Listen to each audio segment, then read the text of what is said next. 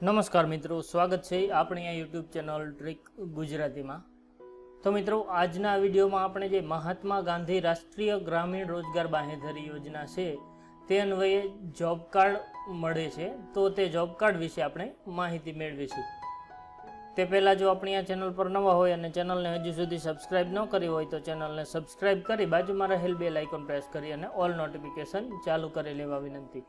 જેથી કરી આપણી ચેનલ પર જ્યારે પણ નવી માહિતી મૂકવામાં આવે ત્યારે તે માહિતીના વિડીયોનું નોટિફિકેશન તમારા મોબાઈલ પર મળી જાય. તો ચાલો શરૂ કરીએ આજનો આપણો આ ટોપિક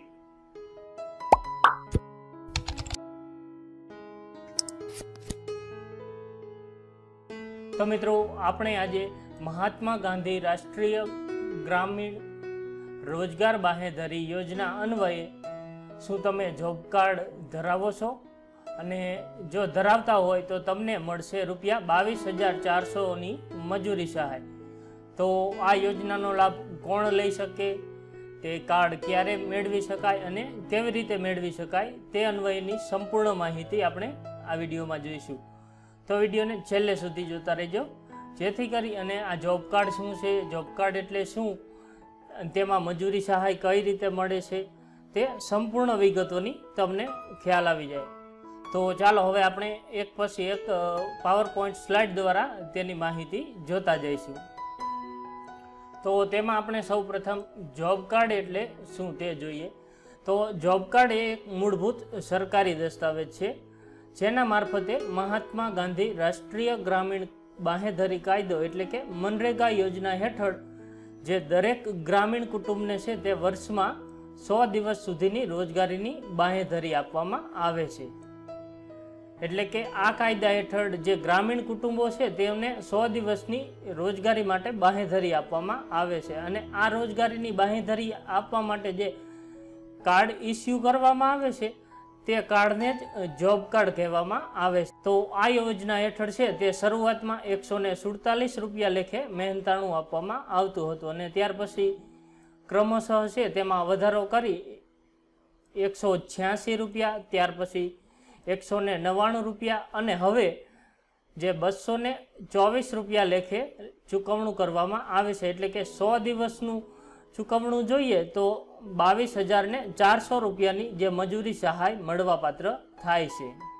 તેનાથી આગળ આપણે વાત કરીએ તો જે વ્યક્તિ પાસે રોજગાર નથી, તે વ્યક્તિને આ જોબ કાર્ડ અંતર્ગત જ્યાં મનરેગાના કામ ચાલુ હોય ત્યાં આ રોજગાર આપવામાં આવે છે અને જોબ કાર્ડ જે અરજી કર્યાના પંદર દિવસમાં કાઢી આપવામાં આવે છે. અને તે કાઢી આપવામાં આવેલું જોબ કાર્ડ છે તે પાંચ વર્ષ સુધી માન્ય ગણાય છે. તે ઉપરાંત તે જોબ કાર્ડમાં વ્યક્તિએ કરેલા કામના દિવસો અને તેને આપવામાં આવેલી વેતનની વિગતો પણ આ કાર્ડમાં નોંધવામાં આવે છે. તો મિત્રો, આ પ્રમાણે જે જોબ કાર્ડ ધરાવતા હોય તેઓને મનરેગાનું કામ જ્યાં ચાલુ હોય, ગ્રામ્ય વિસ્તારમાં ત્યાં તેમને રોજગાર આપવામાં આવે છે. અને જો કોઈ જોબ કાર્ડ માટે અરજી કરે છે, તો તે અરજી કર્યાના પંદર દિવસની અંદર જ જોબ કાર્ડ કાઢી આપવાનું હોય છે.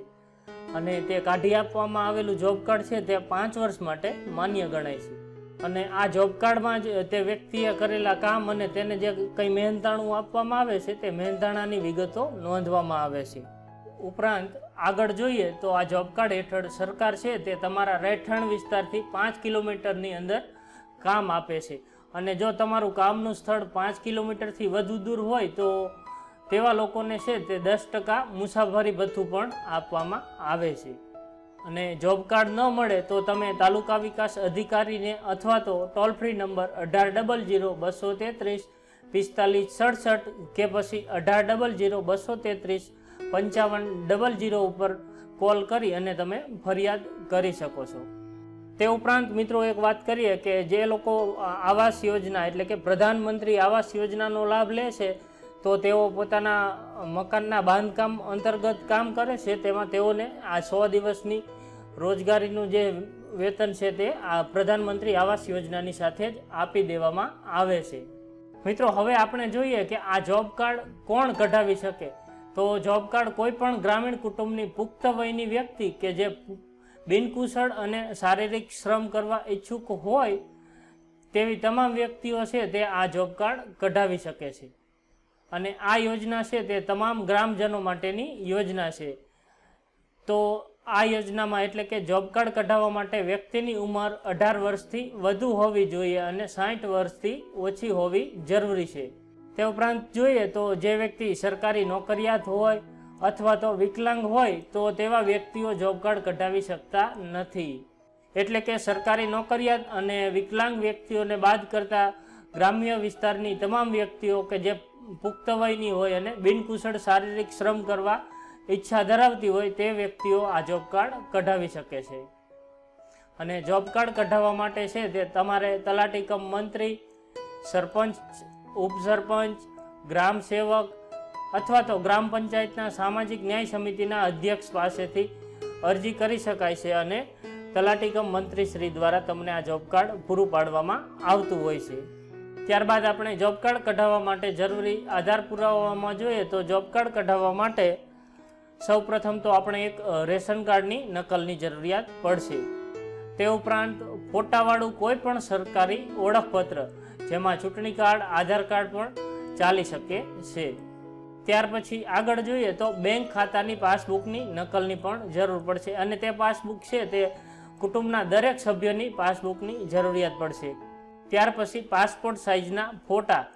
તો જોબ કાર્ડમાં જેટલા વ્યક્તિઓના નામ, નામે જોબ કાર્ડ ઇસ્યુ કરાવો છો તો તે તમામ વ્યક્તિઓના પાસપોર્ટ સાઇઝના ફોટાની પણ જરૂરિયાત પડશે.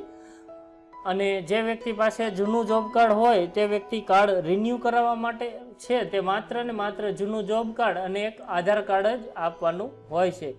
આ સિવાય અન્ય કોઈ ડોક્યુમેન્ટ આપવાનું રહેતું નથી. તો જે વ્યક્તિઓ જૂનું જોબ કાર્ડ છે, તેઓ રિન્યૂ કરાવવા માગે છે, તેઓને જૂનું જોબ કાર્ડ અને આધાર કાર્ડની નકલ એ બંને આપી અને પોતે નવું જોબ કાર્ડ ઇસ્યુ કરાવી શકે છે.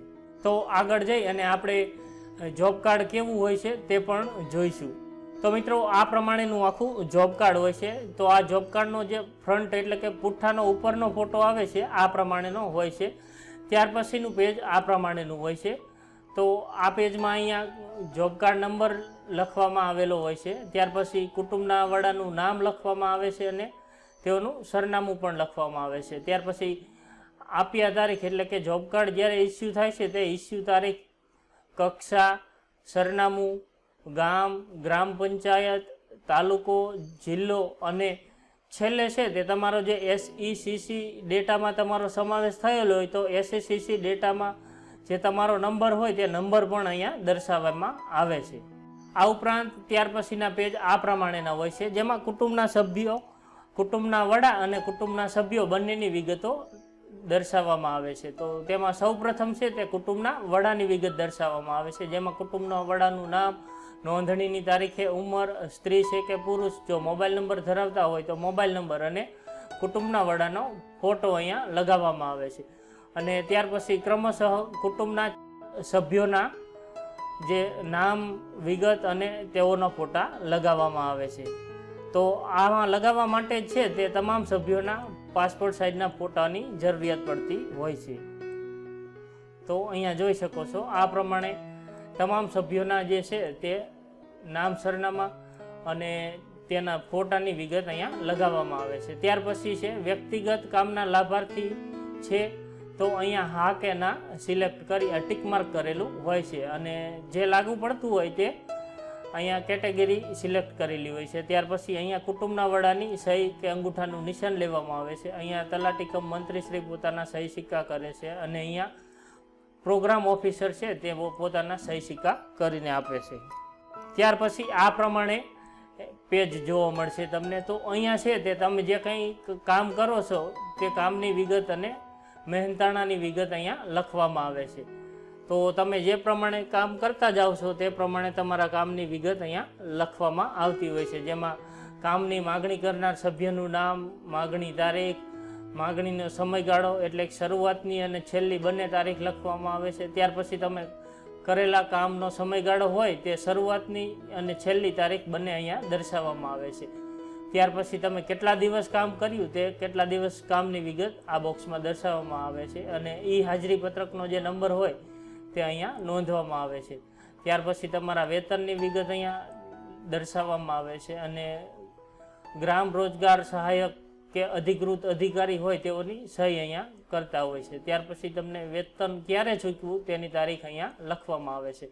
અને જો તમને રોજગારી આપવામાં ન આવેલી હોય તો અહીંયા તમને બેરોજગારી ભથ્થું આપવામાં આવ્યું હોય તો તે વિલંબિત વળતર સાથેનું બેરોજગારી ભથ્થાની વિગત પણ અહીંયા દર્શાવવામાં આવે છે. અને છેલ્લે કંઈક આ પ્રમાણેના પેજ હોય છે, જેમાં મહાત્મા ગાંધી નરેગા યોજના અંતર્ગત જે કંઈ કામોમાં મળવાપાત્ર હોય છે, તે કામના પ્રકાર અહીંયા દર્શાવેલા હોય છે. તો આપ સ્ક્રીનશોટ પાડી અને આ તમામ વિગતો તમે જોઈ શકો છો. તો આ પ્રમાણેનું આખું જોબ કાર્ડ હોય છે અને જોબ કાર્ડ ઇસ્યુ કરવા માટે આપણે જોયું તે મુજબના ડોક્યુમેન્ટની જરૂરિયાત હોય છે.